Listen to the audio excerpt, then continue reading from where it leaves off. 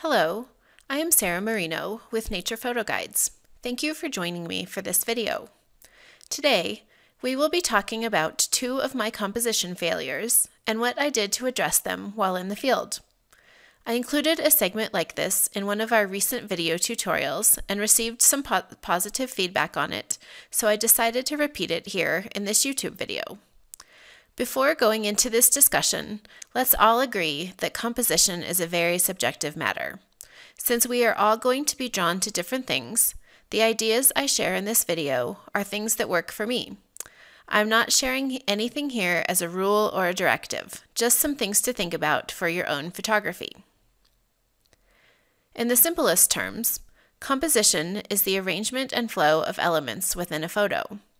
As the photographer, you are able to make choices about what to include or what to leave out of your photograph and how to arrange fixed elements within your frame. In terms of creativity, I see composition as being a key step in expressing your personal view of a place and your visual preferences. I'm going to go through two examples of my compositional failures using photos from Death Valley National Park. First, we will talk about mud cracks, one of my favorite subjects that gets almost to the point of an obsession. Death Valley has many expansive playas with a diverse array of cracked mud that comes in many shapes, sizes, and colors. These playas provide a lot of fun opportunities for nature photographers, both for expansive scenes and more intimate views. Here is a selection of both processed and unprocessed files to give you a sense of the variety. Here are two examples of compositional failures. Both suffer from a massive confusion of visual cues. For the example on the left, the clouds are really nice, with great shape and texture. I tried in vain to find cracks that would mirror the formation in the clouds. Instead, I ended up with lines that lead in all the wrong directions. The only visual cues in the foreground lead the viewer straight out of the frame. This composition offers no progression between the foreground and the background, with the clouds offering the only interesting subject in the frame. The second example on the right suffers from all of the same failures, plus some other ones. Because this line is so heavy and dominant, it controls the foreground. Like the other example, it leads a viewer straight out the right side of the frame. In this case, I was trying to work with this point, which offers a mirror of the mountains in the background. Using that edge of the tile as a focal point leaves everything else feeling very unbalanced. The tiles in this photo are of all different sizes, and this leads to significant inconsistency. This massive grouping of tiles holds a lot of visual weight, but offers very little visual interest. And finally, the only interesting light in this photo is on the edge of the frame, which is pretty much the worst place for it to be. I consider this a more successful composition of cracked mud. The raw file is on the left, with the processed version on the right. In this case, the lines point in a better direction, toward the prominent mountain in the background. The shape of the foreground also mirrors the general shape of the clouds. The tiles in the foreground are a lot more balanced because they are of similar size and shape. The lines also enter and exit the foreground in a much more pleasing way. The tiles provide a logical visual progression from the foreground to the background. The subjects are obvious the geometric mud tiles, the dark mountains, and the ominous clouds. The compositional elements pull all of these pieces together without many distractions or visual confusion, and thus I think this is more successful than the previous two compositional failures.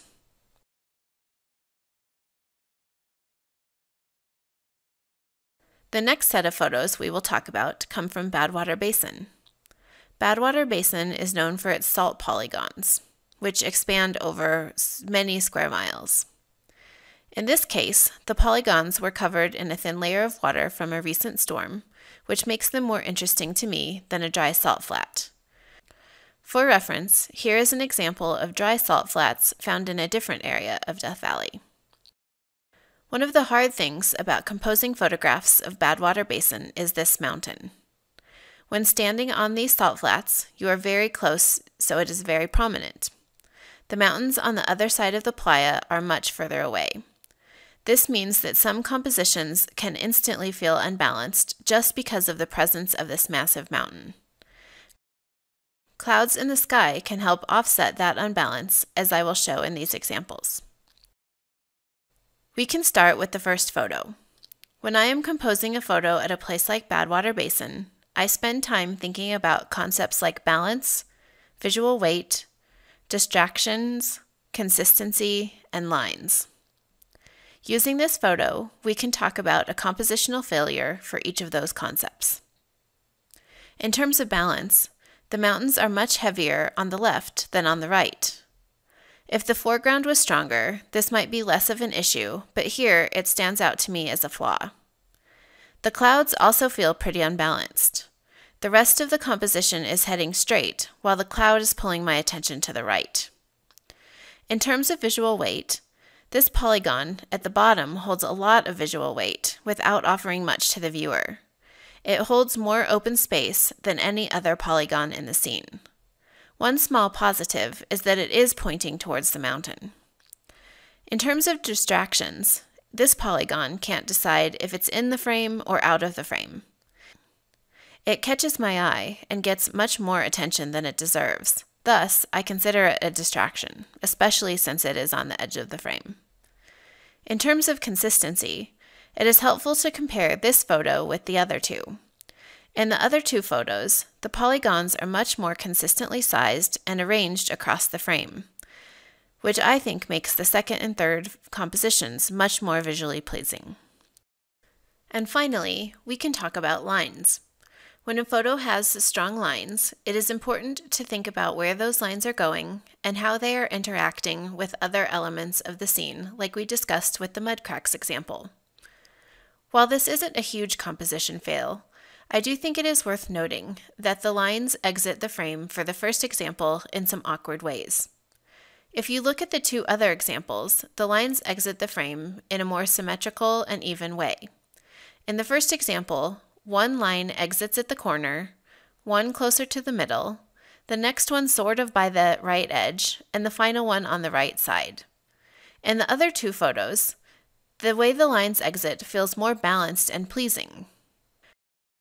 We can also think about this series of polygons as an abstraction of a line. This progression of polygons leads the eye to the right, without anything else in the composition to pull it back to the mountains on the left. This means that your eye heads right out of the frame if you follow that line of polygons. Overall, I like the second composition. I cleaned up many of the failures from the first version of this photo. I like the shape of the polygons in the foreground, and the cloud mirrors the foreground in terms of shape. The cloud also provides a nice visual counterpoint to the mountain, which helps add some balance. I included this photo because it is missing a less tangible compositional element that transforms the third version that you see here. That element is light. With light on the sides of the polygons, their shape stands out much more distinctively, and the mood of the photo takes on much more drama. This scene is better in all of the areas we just discussed balance, visual weight, distractions, consistency, and lines. Like I mentioned before, this scene can feel really unbalanced due to the heaviness of this mountain. The clouds here are essential to helping balance out the visual weight of the elements in the sky. The lines enter and exit the frame in pleasing ways. I feel like the visual weight of all the elements in the scene work together well. I've tried to minimize distractions. I like the consistency in the polygons, and I feel like the lines work together fairly well between all of the different elements. If I were designing this scene from scratch, I think I would prefer a larger polygon as a diagonal counterpoint for the mountain but aside from that, I'm pretty happy with the composition for this scene.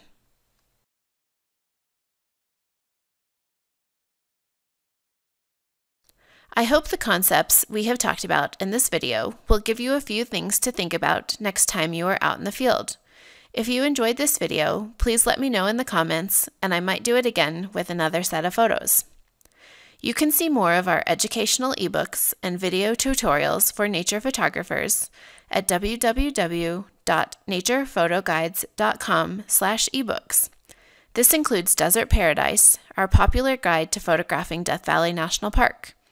Also, if you enjoyed this video, please subscribe to our Nature Photo Guides YouTube channel. Thanks!